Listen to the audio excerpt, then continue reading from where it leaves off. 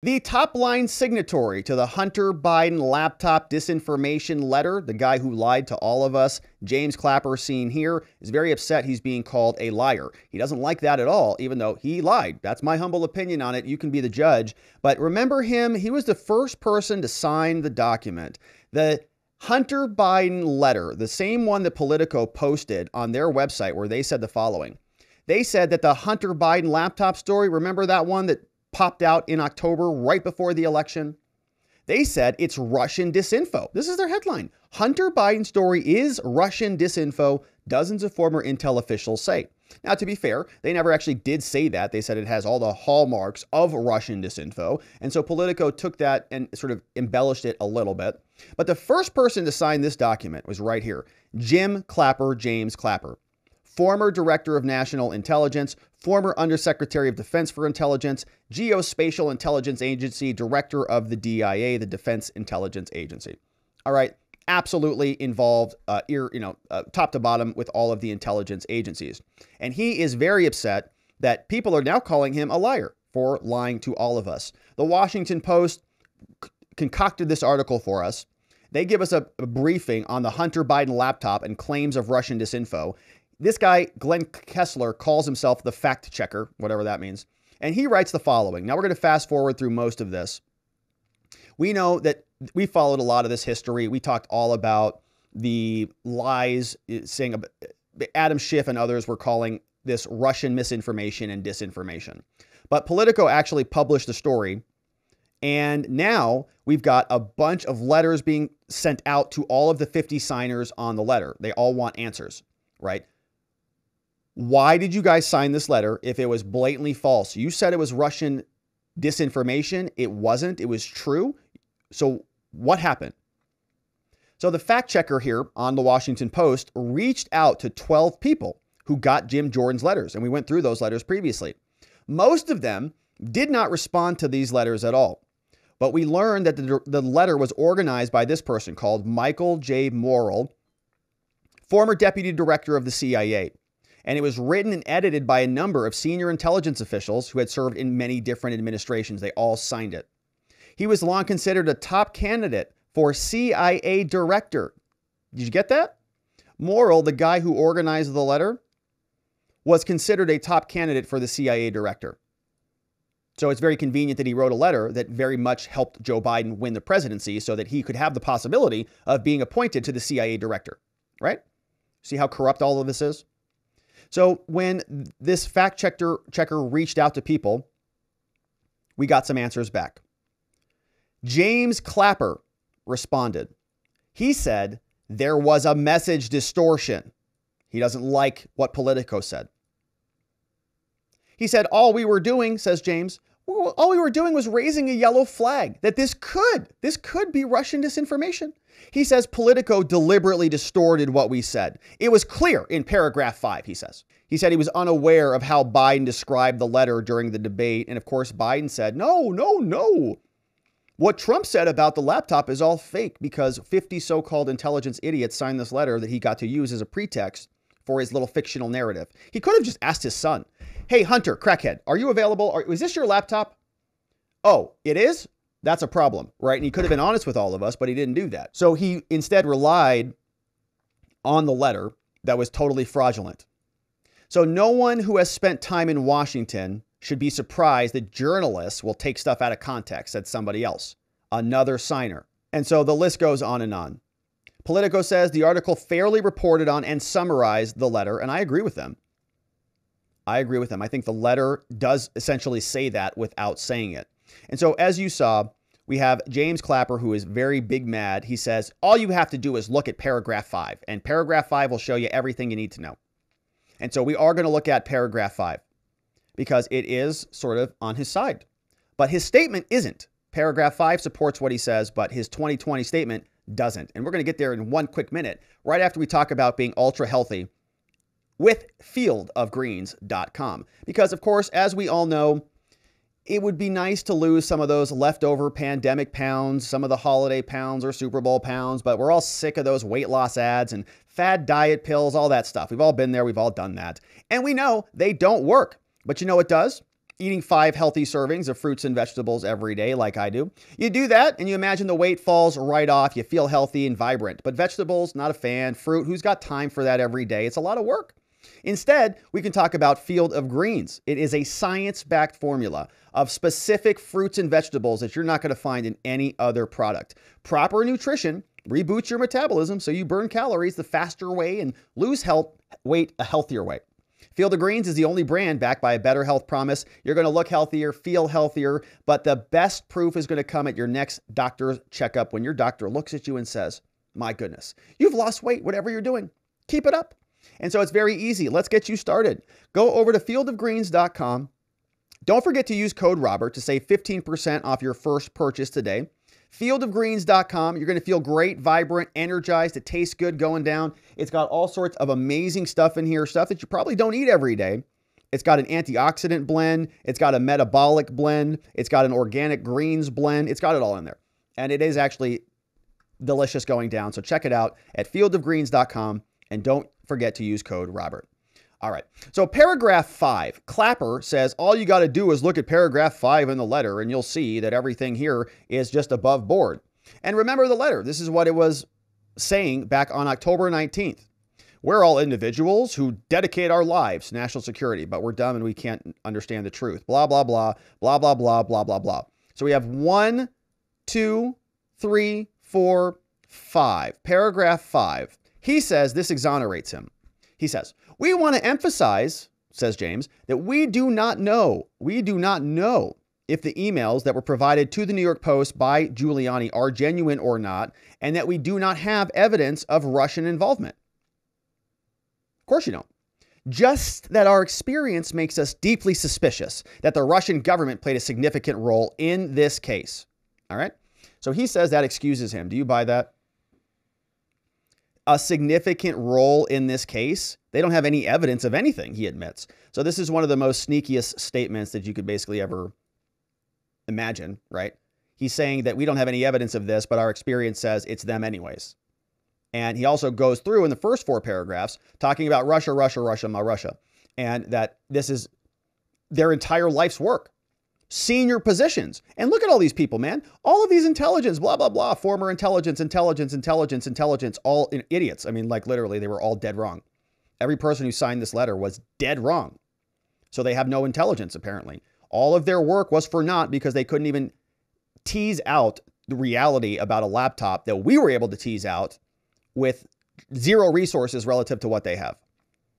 Pretty amazing. So James Clapper signed this right here. So, in my reading of this, it sounds like I think Politico nailed this. They got it right. They are saying, even under paragraph five, reading it in a light most favorable to him, he is splicing two opposing statements together and they're logically inconsistent. So, that's why he can't use that as an escape hatch, even though he wrote it to be an escape hatch.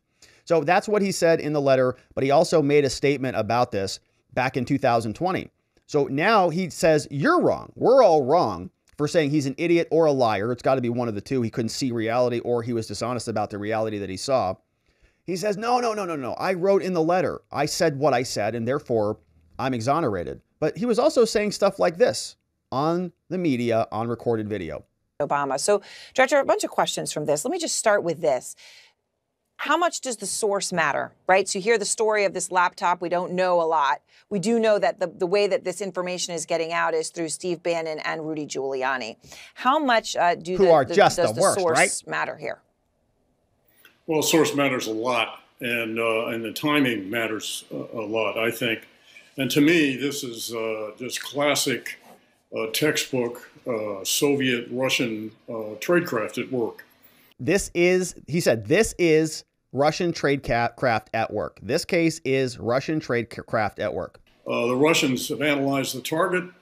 They understand that the president and his enablers uh, crave uh, dirt on Vice President Biden, whether it's real or contrived, it doesn't matter to them. And so all of a sudden, two, two and a half weeks before the election, uh, this laptop appears somehow uh, without and, uh, emails on it without any metadata. That's not true. We saw it all.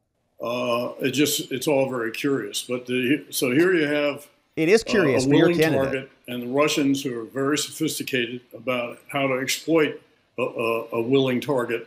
And uh, to me, that's what's at work here. That's what's at work here, right? The Russians are exploiting a target. That's what's at work here. So he is openly, this is kind of freaky, isn't it? This is what they were doing on CNN in 2020. This is this is what the news was for all of us. Former ex intelligence, whatever. Openly saying this to all of America in the months right up before an election, weeks before an election. Totally erroneous, absolute disinformation, as far as we could tell. A liar. And he was openly sharing all of this on CNN. And so, you know, when you, you try to figure out the specifics of, you know, whether that meeting email, for example, is real in the midst of this, um, do you think stuff like that could just have been planted in there and be completely fake? I do. Yeah. I think the, uh, Totally. the emails could be con- uh, could be contrived, particularly since, as I understand it from what I've read, Yeah. uh, they appear uh, without any metadata. That is, you know, from, to, and, and any technical data, uh, at least immediately evident. Now, Okay. And the FBI also, by the way, they could have come out and clarified all this stuff. They were all former, so they had that as a as, as an escape hatch. But the FBI, I think, had the laptop as late as December 2019. So they could have corroborated this as well. uh, if this computer is in the hands of the FBI, they have obviously There excellent, uh, sophisticated uh, technical and forensic uh, analytic capabilities, and I think they'll be able to sort it out whether this is genuine or not. But Yeah, but they knew the FBI wasn't going to comment on it, so they knew they had room, right? They had a buffer. They could say whatever they wanted because they knew the FBI was not going to come and corroborate it one way or the other. The FBI was never going to come out and say, yeah, it's true or no, it's not. Because that's not what they do. They don't comment on that stuff unless there's a charge being filed. It's just standard procedure. He knows that. All of those 50 so called intelligence idiots also knew that. That's why they signed on to it because they, they knew there would be no repercussions. And now they're trying to have it both ways. They were t- they were in aggregate saying this was absolute Russian disinformation, and now they're saying that it's not. It's very dishonest. It's very reprehensible. And James Clapper and the rest of them should be ashamed of themselves for lying to us openly and nakedly like they did.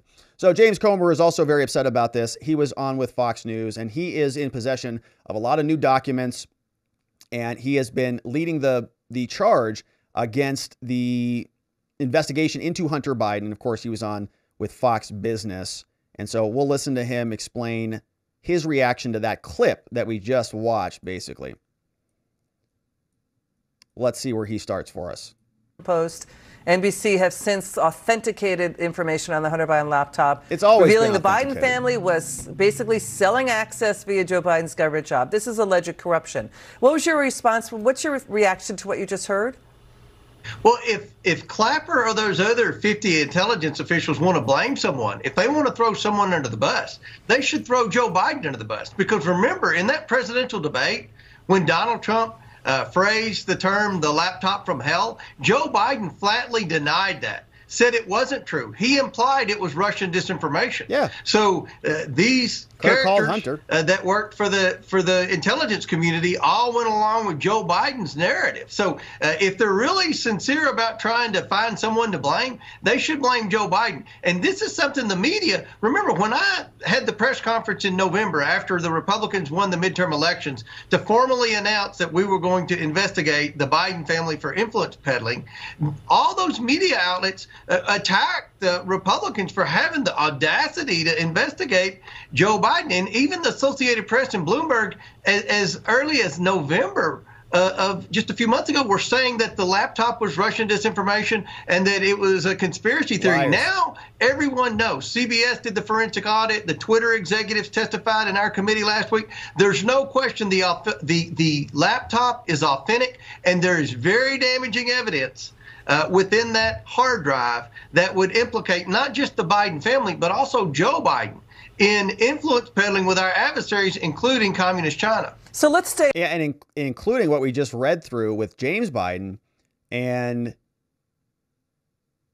other deals in, in other places around the world. So they go through some of the other emails and let's see what else Comer has. Convince people that because he was Joe Biden's son, he could help them navigate the bureaucracy of the federal government. So obviously, the more people that Hunter Biden could prove to communist China that he had close connections with, the more money his family would rake in. And this is another example of how Joe Biden uh, or Hunter Biden, through uh, Joe Biden's network, sold himself uh, to our adversaries in, in China, Russia, and Ukraine. So, so this is proof that this family w- was was knee deep in with communist Yeah. China and trying to ha- sell access to the federal government. And Congressman, it's also about Obama, Obama White House officials. The email suggests Max Baucus helped the Biden family set up meetings with Chinese officials in the U.S. Embassy in Beijing, right as Hunter was involved in the BHR Partners, that Beijing-backed private equity firm controlled by the Bank of China. I mean, they're selling, sending each other emails about all of this, about working with Max Baucus, getting his help in China. That's the important thing to know, Liz. And this was, is what gets lost in translation. The media, when they're constantly defending the Biden family for potential corruption, they'll say, well, that may have happened, but it happened when Joe Biden was a private citizen. That is not true. You will see in the laptop the text messages and Yep. emails. Much of this happened while Joe Biden was vice president. The deal with Ukraine and Burisma, the deal with uh, getting set up with CEFC from, from China, the, the Chinese energy company. All of this happened because of Joe Biden's position as vice president, and Hunter utilized many people within the Obama administration to be able to set himself up Yeah. for a payday right after the, the president left office. He did. They were all collecting big chunks of money hand over fist. What does James Biden know about negotiating anything with the Saudis, for example? What does Hunter Biden know about energy supplies with Burisma or any of these other companies? It's absolutely insane. But they had a lot of money to be made, and the Biden family got very rich off of it. Of course, we'll continue to cover. And uh, by the way, I did order my my Marco Polo report. It is in the mail. I have the tracking number. I'm waiting for it to get here any minute now. Those are available if you want to see what some of the malfeasance that Comer is talking about. You can grab a copy of the laptop report for free at marcopolousa.org. Our friend Garrett Ziegler over there, they do great work. And you can also buy a hard copy because it is a nice coffee table book and it's a nice memento of history of the disgustingness of this family. And of course, we'll continue to cover it. Thank you for subscribing wherever it is you're watching this, and we'll look forward to seeing you on the next one.